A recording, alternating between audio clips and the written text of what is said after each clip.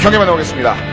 자, 심판의 날 11시로 먼저 가보겠습니다. 케이트롤스타의 테란 이영호 선수입니다. 캐스파 랭킹 1위. 35승 5패에 빛나는 이영호 선수의 진영이 11시, 그리고 하단 7시는 현재 3킬 중인 김윤중 선수입니다. 초반에 오리성으로 압박을 하게 되면 테란이 수비하기가 좀 초반만 잠깐 까다로울 뿐이지 딱 갖춰지면 최고의 테란에게 테란이 저그를 상대하던 프로토스를 상대하던 심지어 저그 상대로 이 김창희 선수는 막 투팩으로 압박해가지고 끝내버리는 경기도 나왔고 네. 네, 어느 정도 시간이 지나면 테란에게 상당히 좋은 점도 많은 맵이 바로 심판의 날이거든요. 김윤중 선수가 이 맵에서 과연 어떻게 할지 어, 정말 이제 궁금한 상황이고요. 어, 감사합니다. 네. 저도 어. 온켓넷을 사랑합니다. 그렇습니다. 그렇죠. 아, 네. 드래, 드래곤의 아버지 박용호. 네, 해설계 정말- 태양 김창선. 야, 이건, 아, 야, 이거, 네. 네, 감사합니다. 네. 기쁘네요. 저런 취업풀을 제가 보게 되다니. 네. 목소리 많이 회한이 좀 느껴지는데요. 어, 눈물이 갑자기 울컥해가지고요.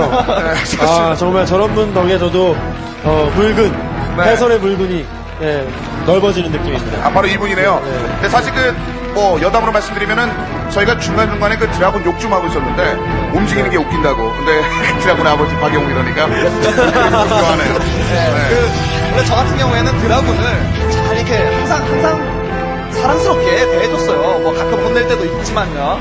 그게 또 아버지의 마음 아니겠어요? 그렇죠. 네.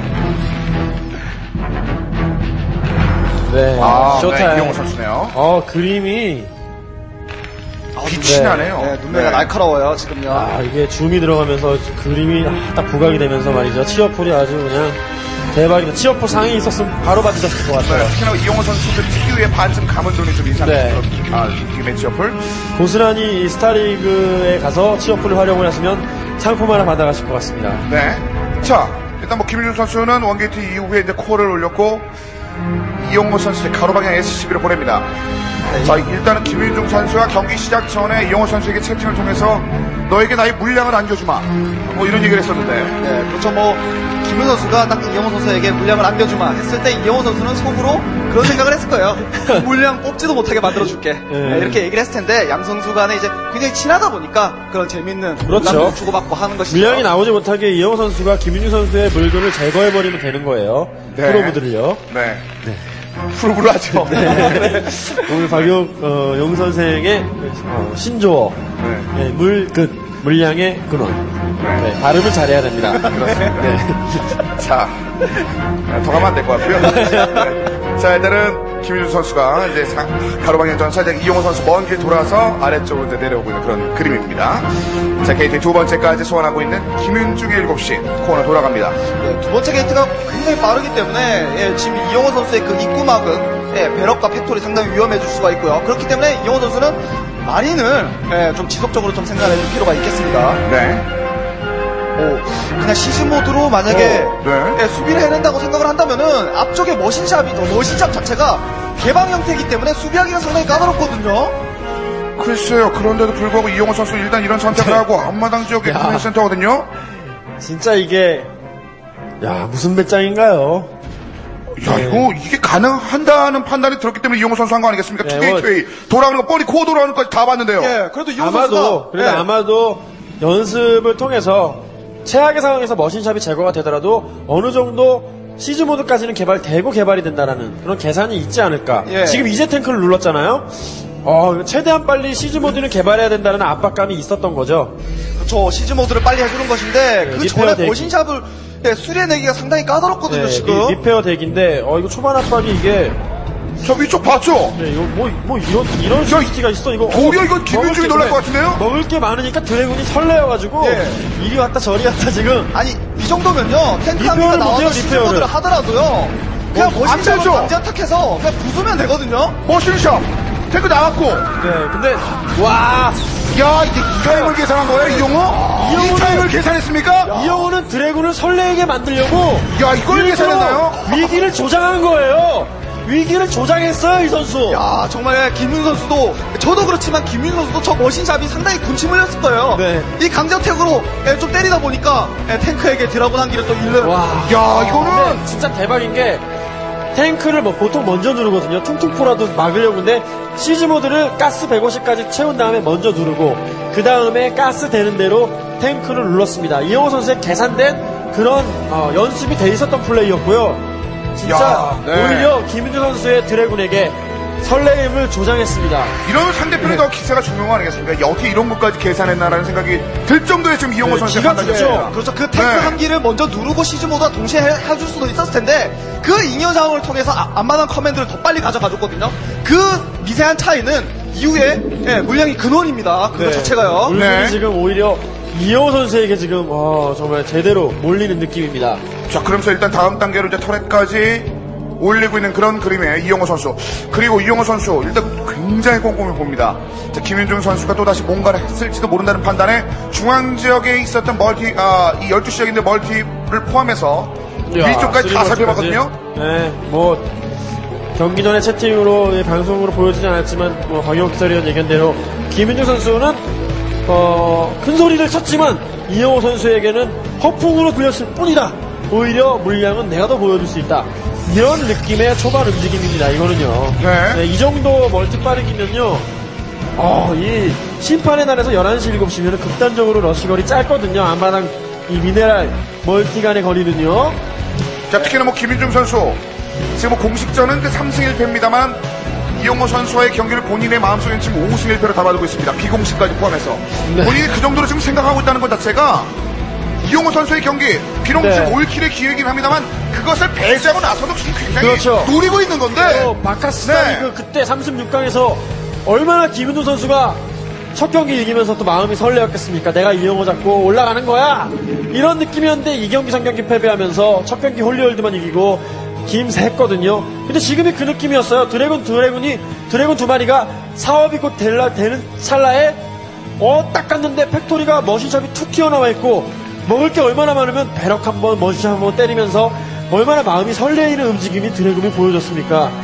그런데 대박이었어요. 탱크 한 대로 딱 siege mode 그렇게 빠른 타이밍에 Protoss 입장에서는 상상하기 힘들었던 타이밍이었죠. 예, 고치지 않은 이유도 있었습니다. 예, 네. 거기다 이영호 선수가 3command를 가져가 준것 동시에 앞마당 가스 채취를 하고 있지 않고요, 아직까지도요. 그렇다는 얘기는 여기서 factory를 한번 폭발을 시켜서, 예, 폭발시켜서 타이밍을 또 내려간다면은 이 3command 물량이 장난이 아니거든요.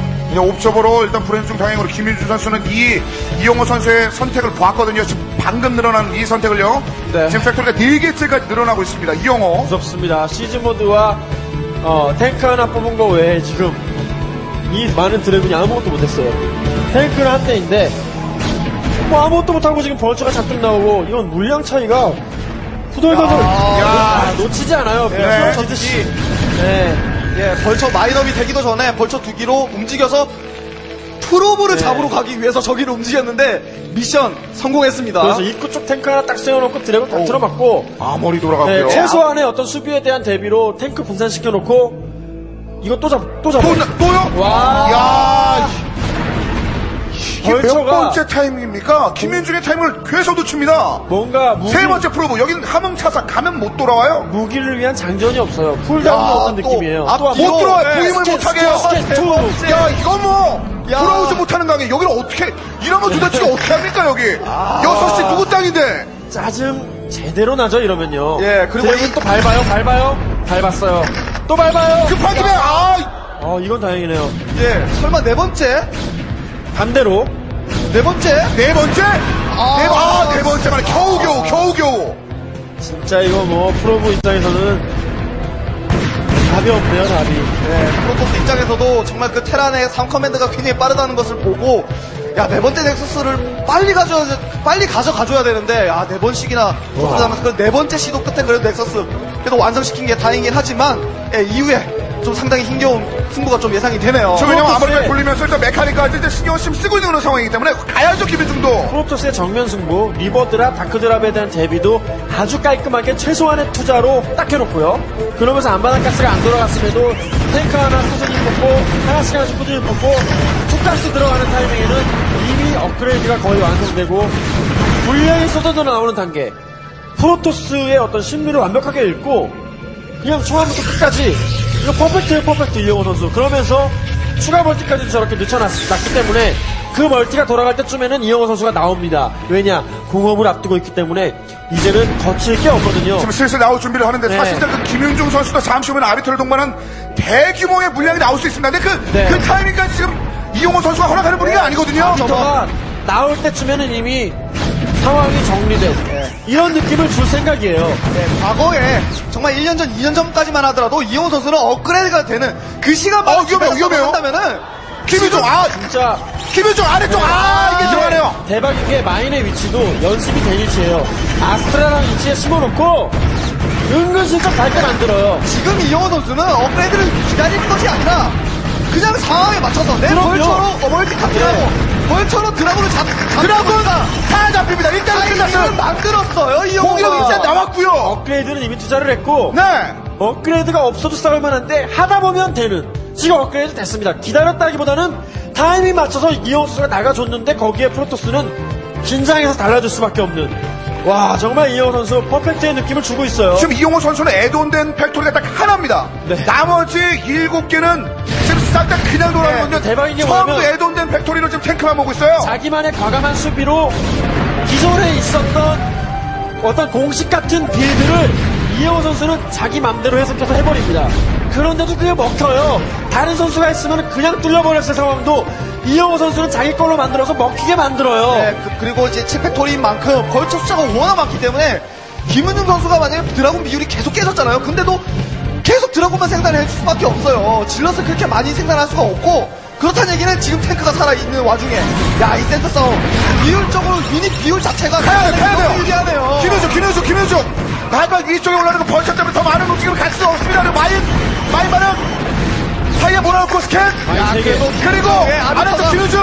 아비터가 힘을 내고 네. 있습니다. 뒤쪽 탱크. 아직까지 마지막 희망 아비터가 있기 때문에 어떻게 수비를 하면서 한 방을 좀 노려줘야 되고요.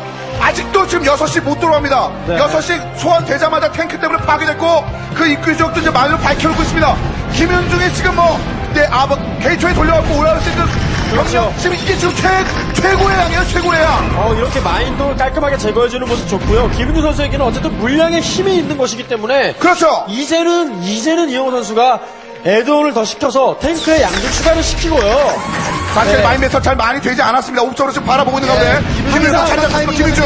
김윤중의 마지막 타이밍에 이영호의 탱크 숫자가 예, 더 많은 다른 machine shop 그 다른 factory의 machine shop 더 달고 예, 그 시간을 주지 않기 위해서 지금 arbiter의 시- stasis를 딱 활용을 해서 마지막으로 지금 밀어야 돼요. 지금밖에 타이밍이 없어요. 자기만의 방식, 자기만의 공식 만드는 것도 좋은데 지나치게 고집을 피우다가 어 이게 방심이 될 수도 있는 거거든요. 물론 이영호 선수가 초반에 해놓은 게 있기 때문에 한 번 센터 뺏겼다고 자, 올라갑니다. 네. 쉽게 역전되진 않습니다만 자, 올라가야 되니까 김윤중, 김윤중도 알아요. 김윤중도 알아요. 김윤중에게는 불가사의한 타이밍과 물, 물량이 있단 말이에요. 일단 stasis field 위쪽 올렸고. 자, 중앙에 올라가는 dragoon. dragoon이 그래도 남아있어요. 많이 남아있어요. dragoon 많이 씁니다. dragoon 많이 씁니다. SCV 없어요. 이번에는 수비해야 될 것 같은데요. SCV 안 나오면 이거 막기 힘들어요. 아직까지 아직까지 네, SCV 굳이- 동안 신경도 안 씁니다. 그냥 아래쪽에서 네. vessel까지 등장했어요. dragoon밖에 없기 때문에 굳이 SCB가 나오지 않아도 CMC도 돼 있고 나오는 병력으로 꾸역꾸역 맞다 보면 결국은 수비는 되거든요. 네.